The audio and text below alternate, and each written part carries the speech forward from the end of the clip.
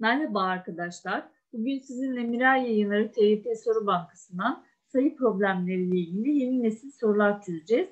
E, test 6'dayız. Videoyu izledikten sonra kanalıma abone olup, olup bana destek olursanız mutlu olurum. E, video altına yorumlarınızı bekliyorum. Şimdi sorularımıza bakalım. Bir torbada belli sayıda kart vardır. Bu kartların her birine birden 5'e kadar olan doğal sayılar şu şekilde yazılmıştır. Şimdi sayılarımız sadece birden beşe kadar. Her karta sadece bir sayı yazılmıştır. Sayıların her birine kartlara en az üç kez yazılmıştır. Sayıların her bir kartlara en az üç kez yazılmıştır. Her sayı farklı adette karta yazılmıştır. Mesela atıyorum 3'ten 4 tane yazıldıysa 4'ten 5 tane, 5'ten 6 tane gibi düşünelim. Aynı sayının yazılı olduğu kart sayısı en çok 9 olduğuna göre torbadaki kartların üzerinde yazan sayıların toplamı en az kaçtır? Ben şimdi torbada yazan sayıların e, kartların üzerinde yazan sayıların az olmasını istiyorum ya.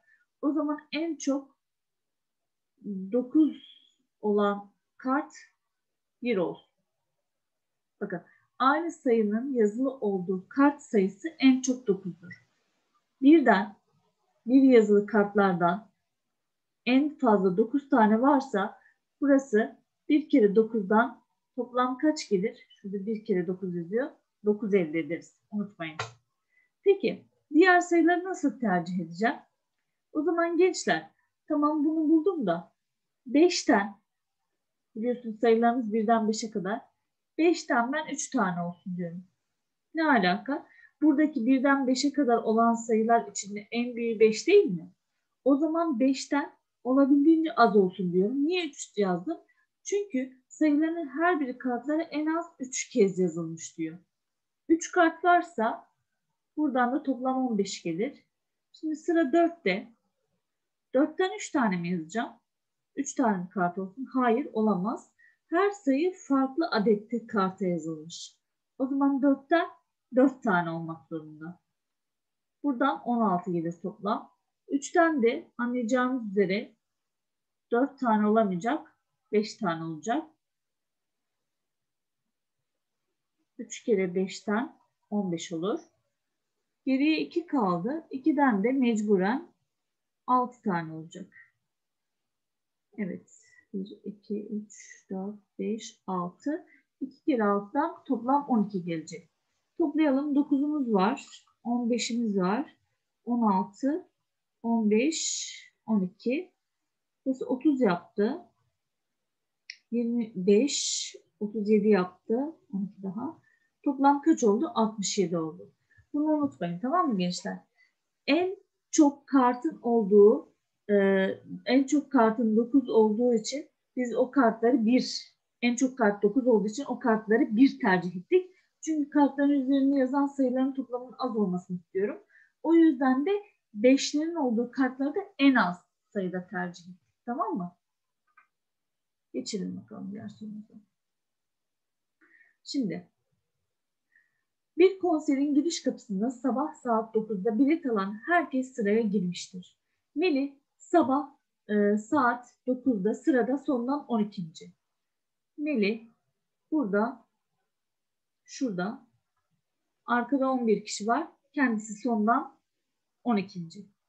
Saat 9'da Kapılar saat 9'da açıldıktan sonraki her 5 dakikada 6 kişi içeri alınmakta. Her 5 dakikada 6 kişi içeri giriyor. Melih saat 9.30'da sırada baştan 12. Saat 9.30 olmuş. Melih baştan 12. sırada yani önünde 11 kişi var. Melih şu an 12. 9.30 olduğunda 30 dakika geçmiş değil mi? 5 dakikada 6 kişi içeri giriyorsa 9'dan 9.30'a kadar 30 dakika var. 30 dakikada tam 6 katı 36 kişi mi girer? 36 kişi pardon 36 kişi içeri girmiş. İçeride 9.30'da. Melih de baştan 12. sırada. Şu an Melih 12. sırada.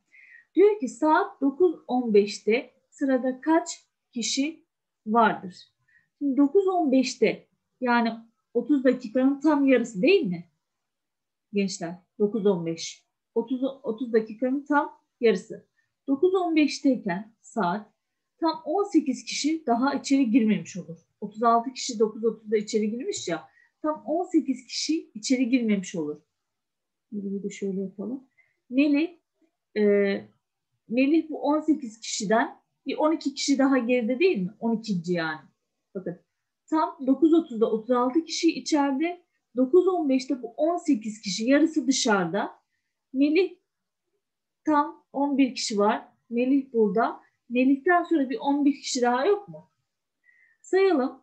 9-15'te ee, sırada kaç kişi var diyor. 18 var. 11, bir de Melih 12. Bir de Melih'ten sonra 11 kişi var. Toplayalım. 30 kaç kişi var? Tam bu sırada 9-15'te 41 kişi var. Güzel bir tur aslında. Devam edelim. Şimdi aşağıdaki şekilde Meriç'e ait iç içe geçirilmiş 6 adet kutudan oluşan bir oyuncak verilmiştir. Bu kutunun her birinin yüksekliği içinde bulunduğu kutunun yüksekliğinden 3 santim kısadır. Hmm.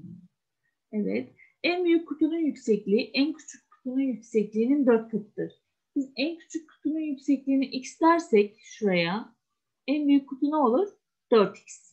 Meriç kutuları ters çevirip üst üste sıraladığı zaman kutuların toplam yüksekliği kendi boyuna eşit olmuştur görünüyor. Buna göre Meriç'in boyu en küçük kutunun yüksekliğinin kaç katıdır? Şimdi ne demişti? Biz ne dedik gençler? Ee, en büyük kutunun yüksekliği en küçük kutunun yüksekliğinin 4 katı dediği için en küçük kutuya x dedik. En büyüğüne de burayı düzenleyeyim. En küçüğe x dedik. En büyük de 4x oldu. Şurası. Ve bu kutuların her birinin yüksekliği içinde bulunduğu kutunun yüksekliğinden 3 santim kısadır. Yani mesela turuncu yeşil içinde bulunuyor ya. O zaman orası ne? 4x eksi 3. Siyah 4x eksi 3 eksi 3. Yani 4x eksi 6. Mor 4x eksi 6 eksi 3 eksi 9. Mavi 4x eksi 9 eksi 3 eksi 12. Pembe o zaman 4x eksi 12 eksi 3 eksi 15 demek. 4x eksi 15 ile x aynı şey oldu. Burayı çözersek 3x 15 demek olur. X burada 5 demek olur. Şimdi bunların toplam e, boyu gençler Meriç'in boyuna mı eşit? Hepsinin toplamı. Toplayalım. 1, 2, 3, 4, 5, 6 tane 4x'im var. Sayılara bakıyorum.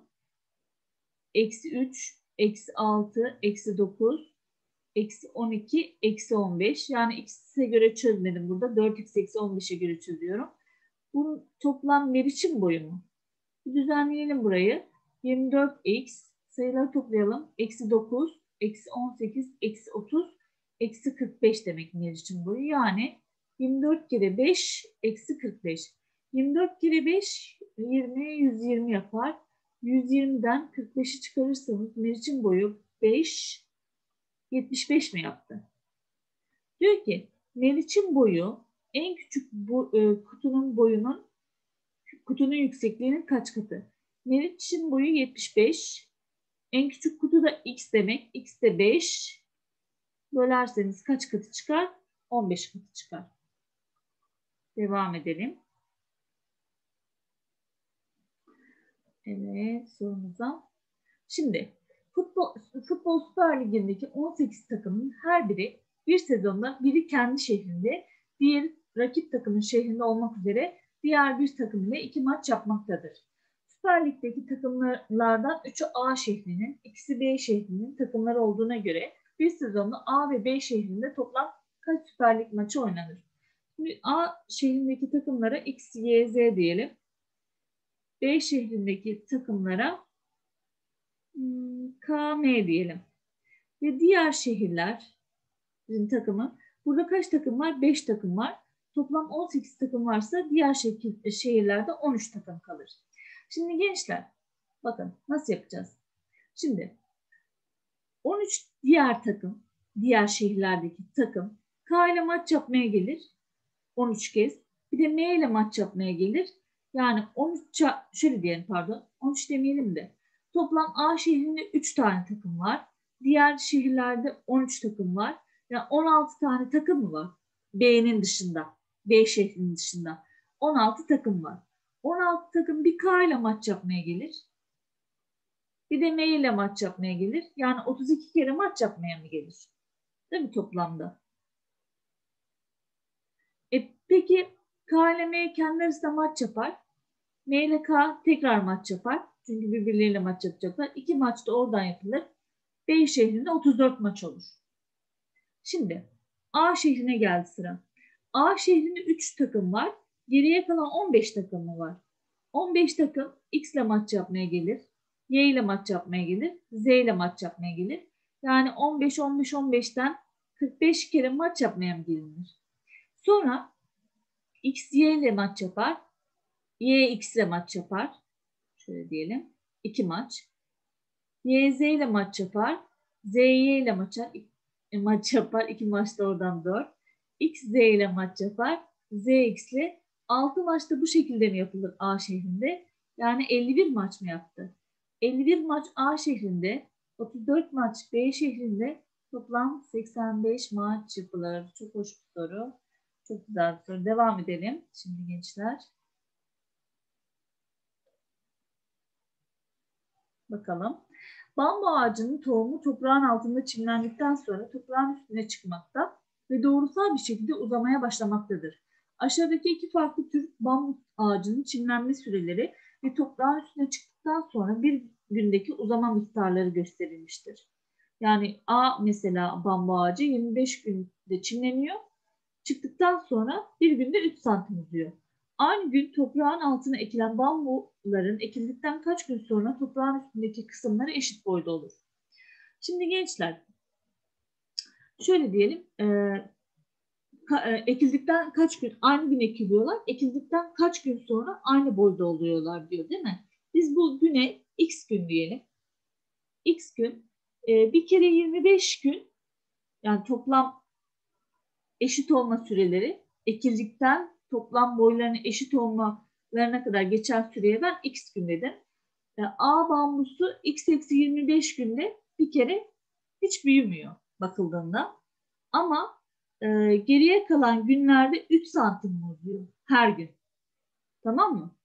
Sonra B bambusu için bakalım. B bambusu da x eksi 35 günde hiç büyümüyor.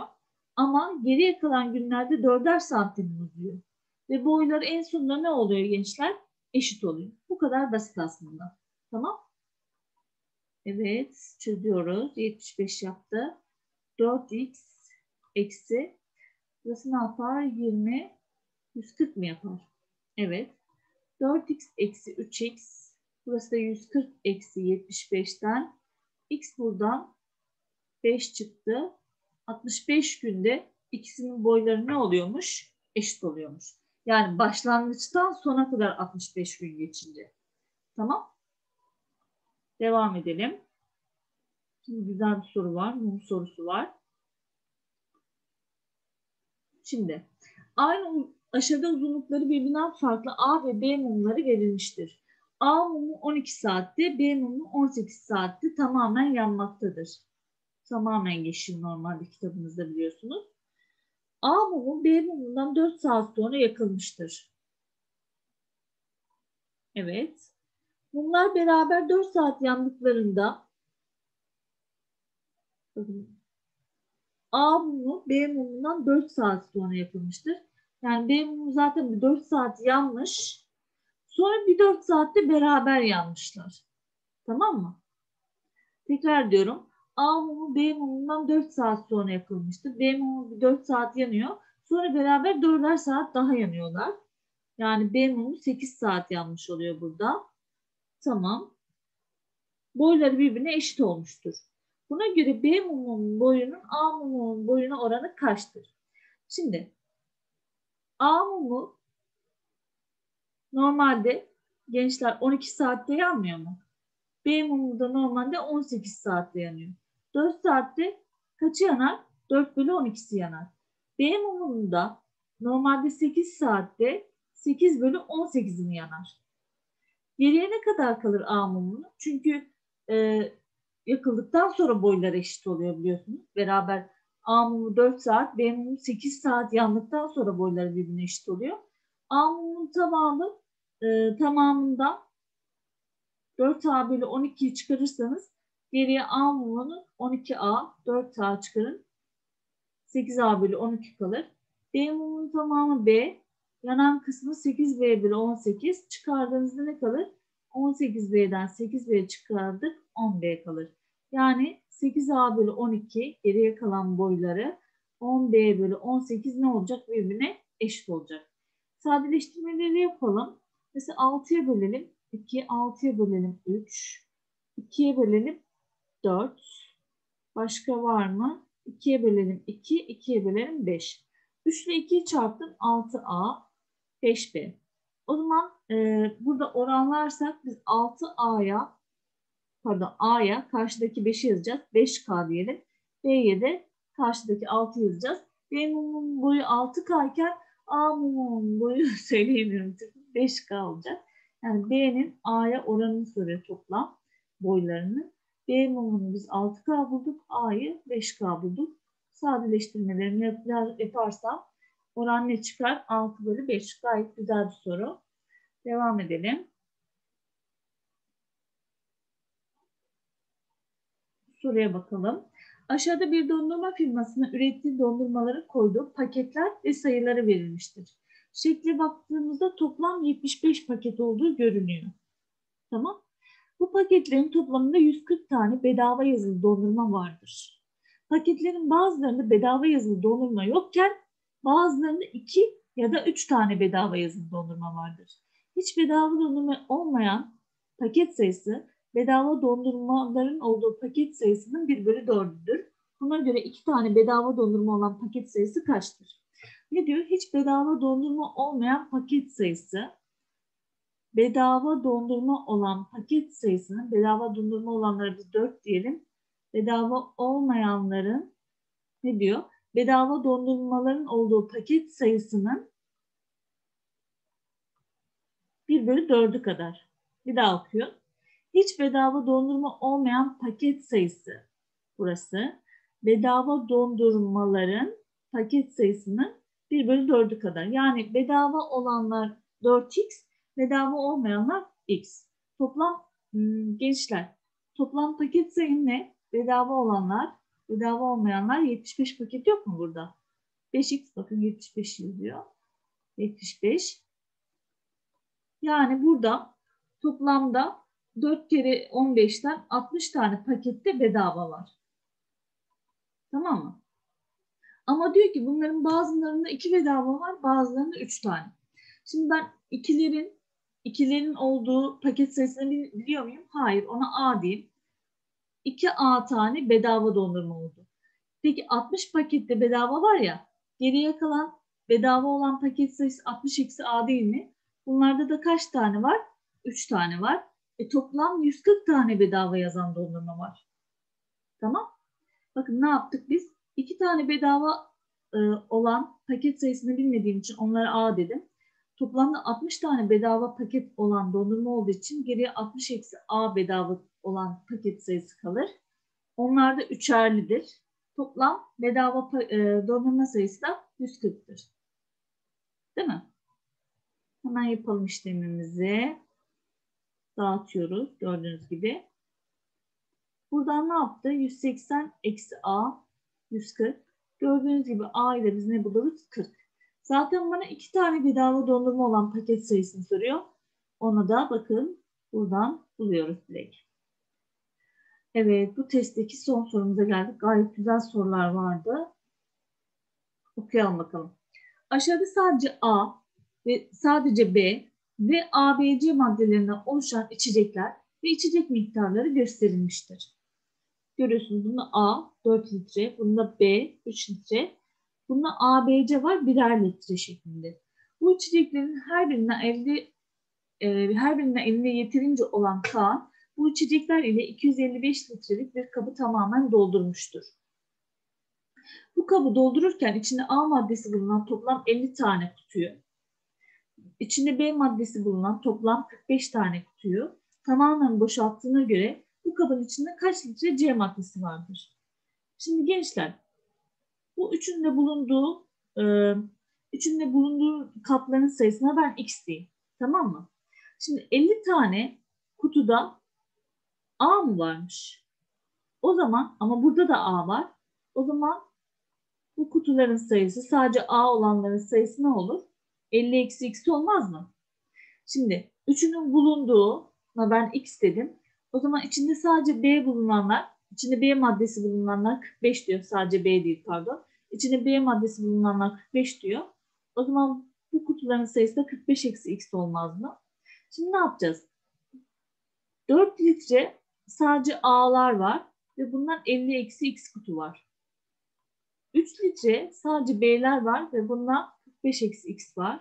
Gördüğünüz gibi. Gençler. Ve en sonunda da e, x tane kutu var ve bunda bir tane A, bir tane B, bir tane C var. Toplam kaç litre?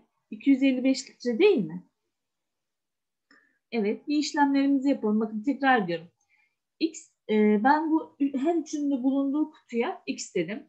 Toplam e, A maddesi bulunan toplam 50 kutu olursa geriye sadece A olan 50 eksi X kutu kalır. Toplam 45 kutuda B varsa geriye 45 eksi X B kutusu kalır. Sadece B olanlar. E, peki toplam litre sayısını vermiş. 255 demiş. Biz ne yaptık? 4 litre A varsa sadece A varsa 4 ile A'ların kutusunu çarptık. 3 ile B'lerin kutu sayısını çarptık. Bir de hepsinin olduğu X kutusu var unutmayın. Onu da tek tek çarptık. Ve 255 yaptı. Dağıtıyorum şimdi. 200 eksi 4x. Burası da kaç yapar? 5, 15, 135, eksi 3x. Burayı da toplayınca zaten gençler 3x yapıyor gördüğünüz gibi 255 yapar. Artı 3x eksi 3x gitti. Burası kaç yaptı? 200 ile 135'i topluyorum. 5, 3, 335, 255. 4x'i karşıya atalım. E, 335'ten 255'i çıkınca ne kaldı? 80. X ne oldu? 20. Neyi soruyor bana? Bu kabın içinde kaç litre C maddesi vardır? Gördüğünüz gibi gençler Evet. Bu kabın içinde kaç litre C maddesi vardır? Gördüğünüz gibi e, hani 255 litrelik bir kaba tamamen boşaltmıştı ya. Şimdi normalde bu kutulardan bakın bu kutunun içinde birer litre A, 1 litre B, 1 litre C var ve bu kutuların sayısı 20 tane ise 20 kere birden 20 litre ne olur? C olur. Beni buraya kadar dinlediğiniz için teşekkür ederim. Kanalıma abone olursanız, beni desteklerseniz mutlu olurum gençler. Herkese iyi çalışmalar diliyorum. Kendinize iyi bakın.